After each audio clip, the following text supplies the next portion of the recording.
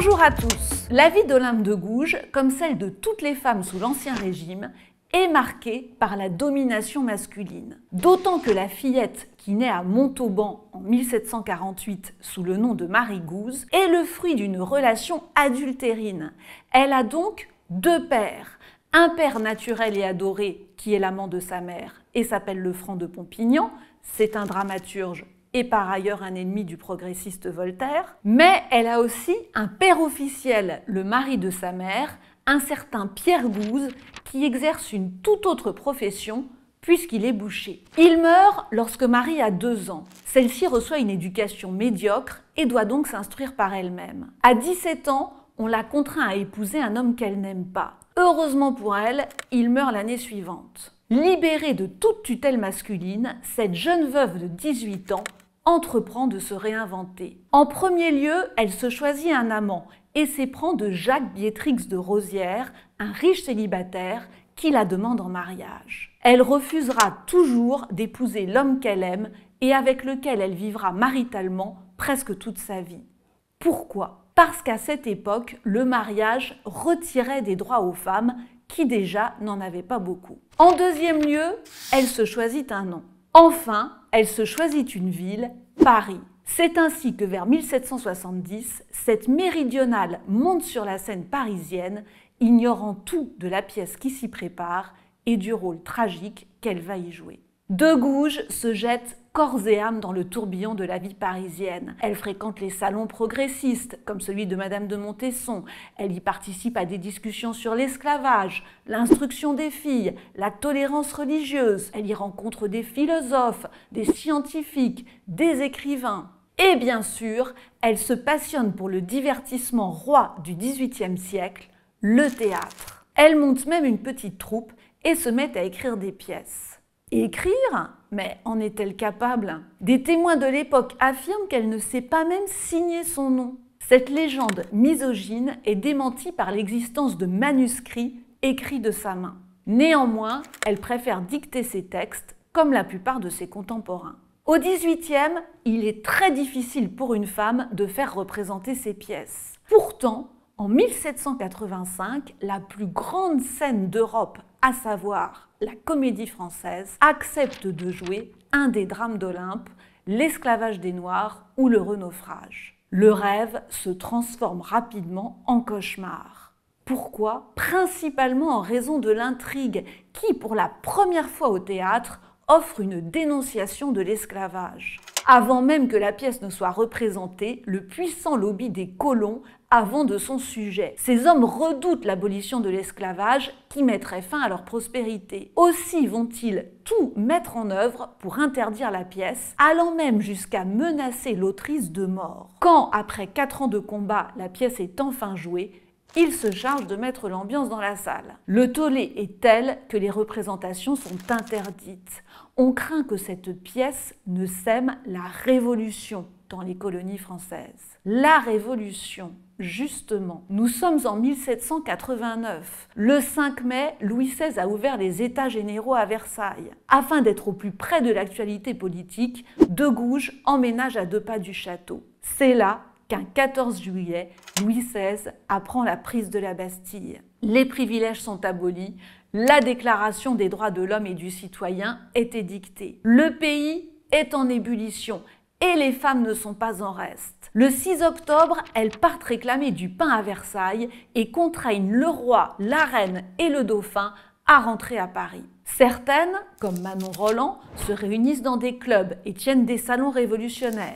D'autres, comme Théroigne de Méricourt, revendiquent le droit de porter des armes afin de se battre pour leur patrie. Les révolutionnaires encouragent-ils ces femmes à s'émanciper? L'honneur des femmes consiste à cultiver en silence toutes les vertus de leur sexe sous le voile de la modestie et dans l'ombre de la retraite. Pas très révolutionnaire tout ça. Les philosophes des Lumières n'auraient donc pas préparé le terrain au féminisme? Qu'en disait par exemple Rousseau en 1762 Toute l'éducation des femmes doit être relative aux hommes, leur plaire, leur être utile, se faire aimer et honorer d'eux.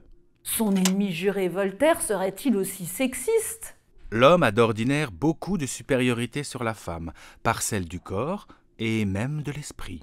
À part Condorcet et Chauderlot de Laclos, peu nombreux sont ceux qui défendent la condition féminine. Heureusement, il y a de Gouges. Écrite en 1791, sa Déclaration des droits de la femme et de la citoyenne débute par une adresse aux hommes qui donne le ton. Homme, qui t'a donné le souverain empire d'opprimer mon sexe? Puis, l'autrice prend la Déclaration des droits de l'homme et du citoyen et prend surtout son encre rouge. Elle recopie les 17 articles en remplaçant citoyen par citoyenne et en modifiant certains passages. Prenons par exemple l'article 9 de la Déclaration des droits de l'homme et du citoyen portant sur la présomption d'innocence. Tout homme étant présumé innocent, toute rigueur qui ne serait pas nécessaire pour s'assurer de sa personne doit être sévèrement réprimée par la loi. Et comparons-le avec l'article 9 de la Déclaration des droits de la femme et de la citoyenne. Toute femme étant déclarée coupable, toute rigueur est exercée par la loi. Ce détournement parodique permet de mettre en valeur l'écart entre la condition féminine et masculine. Dans son pastiche, De Gouges revendique pour les femmes l'égalité non seulement civile, mais aussi politique. La femme a le droit de monter sur l'échafaud, elle doit avoir également celui de monter à la tribune.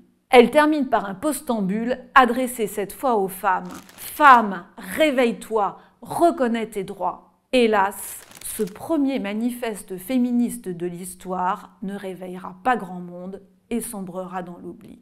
Dans ses autres écrits politiques, De Gouges propose des réformes humanistes qui reflètent les idées éclairées du siècle des Lumières et qui n'en sont pas moins visionnaires. Abolition de l'esclavage, abolition de la peine de mort, fin du célibat pour les prêtres, fin de la prise de voile forcée pour les jeunes filles, droit au divorce, etc., etc. Afin de montrer l'exemple de l'engagement politique à ses concitoyennes, De Gouges prend sans cesse la parole. Elle s'exprime aussi bien dans ses pièces de théâtre que dans des brochures qu'elle édite à ses frais ou encore dans le plus grand journal de France. Dans ses affiches, elle commente l'actualité du tac au tac et reste fidèle au système politique qu'elle a toujours prôné. Selon cette fervente démocrate, Seule une monarchie constitutionnelle pourrait stabiliser le royaume et éviter le sang. De même, cette pamphlétaire proche des Girondins attaque courageusement deux montagnards qu'il était pourtant fort imprudent d'aller chatouiller. L'un s'appelle Marat, le second n'est autre que Robespierre. Elle fait de nouveaux actes de bravoure lorsque, par opposition à la peine de mort, elle s'offre comme avocate de Louis XVI. Cette candidature suscite une réaction de la Convention quelque peu misogyne. La Révolution s'égare. Le 2 juin 1993, 29 députés girondins sont arrêtés à l'initiative des montagnards. Que fait alors de Gouges? Ce que la prudence interdit de faire. Elle soutient crânement les proscrits dans Testament politique tout en sachant pertinemment ce qui l'attend. Un mois plus tard, des mots similaires seront utilisés par Charlotte Corday avant sa décapitation pour le meurtre de Marat. Cette mort refroidit-elle la bouillonnante de Gouges?